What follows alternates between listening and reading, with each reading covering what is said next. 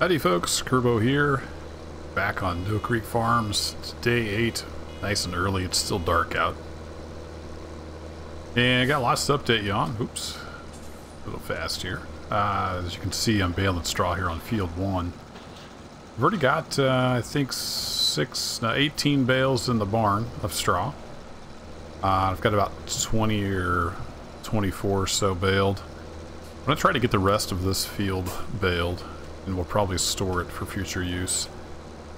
Uh, I've been thinking more and more about getting uh, a larger herd, so we'll need a lot of straw. Did some uh, looking. If I get 100 head, would need something like 40 bales of straw a year. So about got that now. I'm go ahead and finish at least part of this field. Uh, but I really need to get in and do some more hay today if possible. So I'm going to try to do a little patch. Tomorrow is calling for rain. So whatever I get done, I have to get done today. So busy, busy, long day ahead. The harvest is all done. And in just a minute, we'll uh, pull up some numbers. Uh, still pretty sure I lost money on wheat. And we're going to make maybe around 60000 on the beans next summer if the prices hold out. So that will certainly help. Of course, I forgot to mute my phone. Always something. it's busy, busy week. I'm trying to get this recording done real quick uh, before I have to work late tonight. Trying to uh, get about just 20 minutes recording in just real quick to keep the flow going so I can have these episodes out every Monday, Wednesday, Friday. So it was at this point, distracted by my phone, that I forgot to show the numbers later. So I'm going to put the numbers up now. What we ended up with was uh, about 110,000 liters of wheat and 124,000 liters of soybean. So the soybeans should bring some pretty good money next year. Those are the numbers. Back to the video. So where was I? Oh yeah, crops. So crops are doing well. But I did uh, I did some figuring, I did some measuring, and we can support 100 head on the pasture that I have. I was kind of surprised, but I had more grass over there than I thought. So we don't even have to buy uh, more land to support the larger herd, which is good. So a tentative plan that I've been mulling over is to see if I can find a buyer for Field 3, uh, which would give me a ton of working capital. Uh, we could we could upgrade some equipment and just be sitting sitting pretty for years I do need to pay attention to what I'm doing here, though. Just dumped straw right in the middle of my straw. And, uh, you know, get bigger mowers just so it'd be a lot easier to work than with the small equipment. So I'm kind of contemplating that. I'm going to put put some feelers out and see if we can get a buyer maybe for field three. And just kind of concentrate on cows. Yeah, maybe work field one, possibly field two, depending on what we need because I just I can't make the crops profitable. Although if we do sell, we sold field three, might be able to get enough bigger equipment that we could make one, two, and four profitable. But my first priority would be cows and making sure we have all the equipment to support those. So we'll see what next year holds. We're gonna get kind of batten down the hatches for the winter here, get everything put up that we need. I'm going to try to get all this straw in I can. But I don't want to use all day doing straw, because we've basically got enough straw. Next year, year and a half here. Thought I'd get, uh, oops, another 10 bales or so. On top of what I've already baled, and then we'll start hitting the hay. Hitting the grass over there because we would need uh, 84 bales each of hay and silage, and I think it was 42 bales of straw for 100 head. That's per year. So that's that's a lot of grass to cut. Uh, don't. So that's like 100 and just call it 160. It would be 100 and yeah 168 bales. That's more, I think, than we've ever got off the grass I have. So I don't know if I would need to plant one of these fields in grass, possibly, to make up for that. And of course, if I planted, like, say, field one here in grass and use the cow manure to fertilize it, we would get a lot more grass than just the field grass. So I don't know. We got I got a lot of things to think about, but uh, I'm thinking I don't want to farm field three again,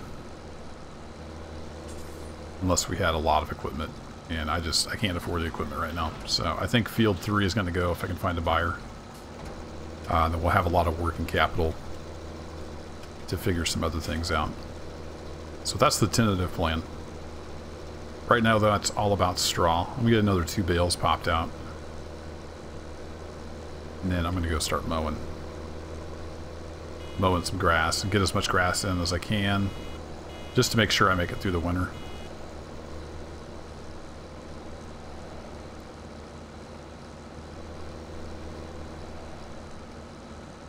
I, I counted the hay bales and the silage bales, and I, I'm good, I think, but I'd like to have a little bit of a buffer. Just in case.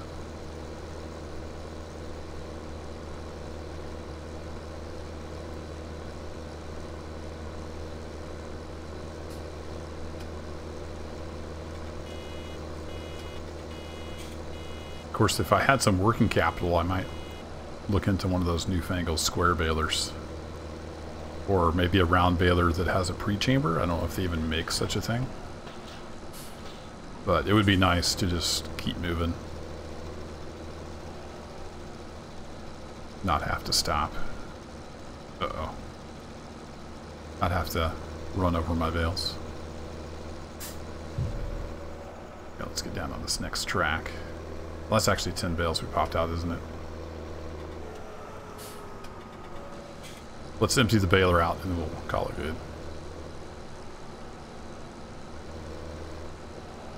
Then, of course, I need to transport all these bales or they will rot away in the rain that's coming. But what I might do is wait, get the hay in, because I can wrap the silage bales, get the hay in, and then if I have time, I'll work on the straw. Because I should, in theory, have time tomorrow. It's not going to... I don't think it'll rain in the morning. It tends to rain in the afternoons. So we could probably work on getting straw in tomorrow morning. But that's a lot of straw to get in. So let's go get hooked up for some hay. I think I'll start on this field here. It's nice and square, the one here by fields 1 and 2.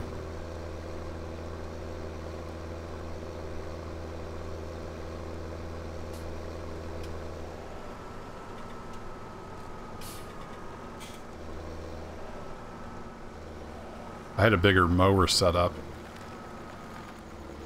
I would have Fred follow me around with the uh, rake. But we just have the little mower, so it doesn't really matter.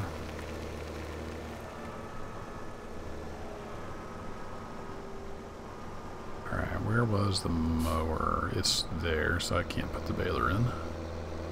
Because that would block the mower. So I will park the baler right here.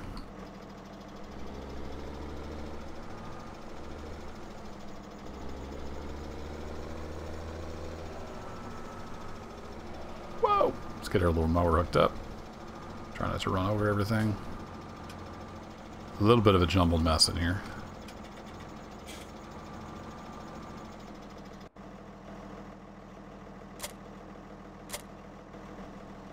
Yeah, let's see if we can get out of here without knocking anything over. Past the rake. Past the other rake. Yeah, we're not going to be able to turn, so we'll have to turn this way. Back up.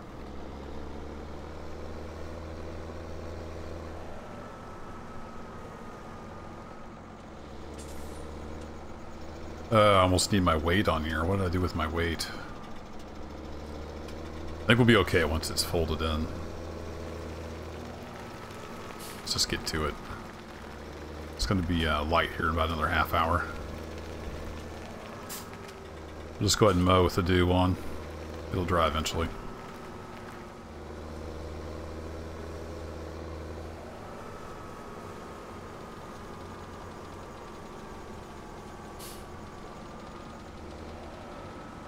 I'm going to just follow the ditch this time. I usually don't go down this far.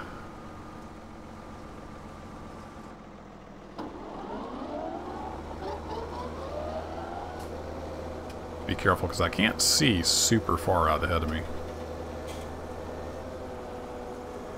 I kind of remember how this field goes.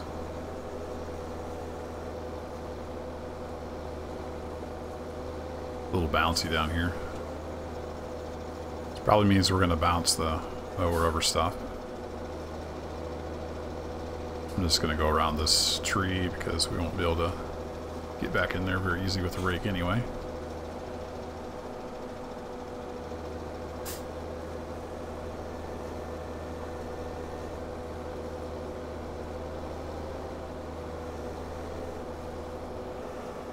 Should go so much faster with the big uh, mower setup. Especially if I could get uh, Fred hired follow me with the rake. I had the big twin and front motor or mower setup, rake following me behind, that would cut out a step, plus go faster. So all this straw over here will just rot and or get cultivated into the field, I think. I even have time to cultivate. We'll have to see how the time goes. Don't want to be messing around in the field when they're wet, and it looks like we've got about three days, three days of rain ahead, which would be the last three days of autumn. And then we got snow the first two days of winter, so weather is not going to be our friend, I don't think. Come right over to the field here.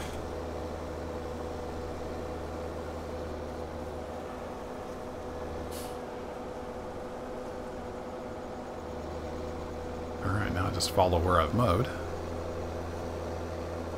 See there, we kind of bounced over some of the grass. Should have went a little slower.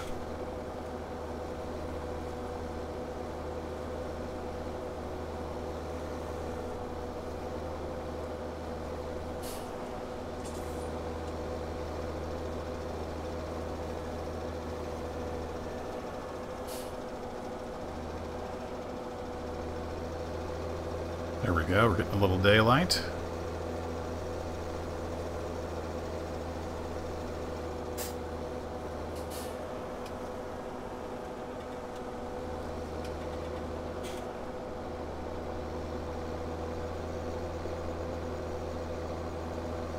Power up the hill T6 and do it.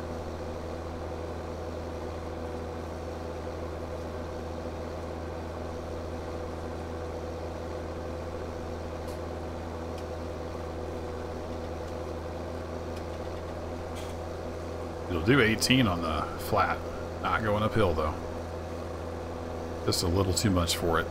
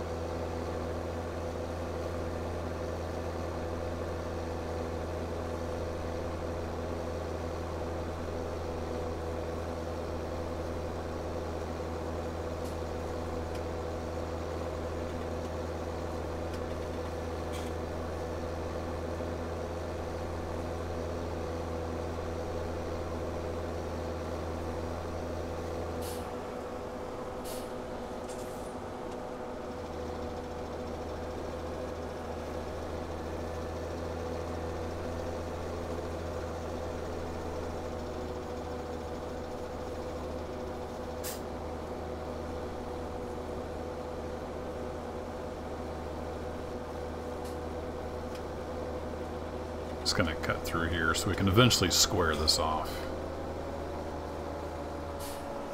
I like nice, nice straight lines. Goes a lot faster that way. Got a little quiet there just driving. Thinking about work. I gotta work late tonight because my coworker's incompetent. It sucks, but such is life. I recorded this on a Friday, Friday afternoon. Normally it'd be like, yeah, Friday. Nope, I gotta work late later tonight because, yeah. Coworker. One of my coworkers, yeah, he's uh, he's pretty incompetent and he causes me a lot of extra work.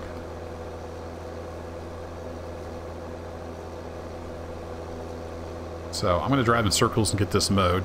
I think I'll just call the episode here. Uh, we might bring it in next episode with some, some raking and baling stuff. I'll see. Know I've done that on camera quite a bit before. We'll just, uh, we'll see how much time I have for recording and when I can get this done. But uh, thanks for watching. I'm going to keep on mowing, and I will catch you all in the next one. Take care.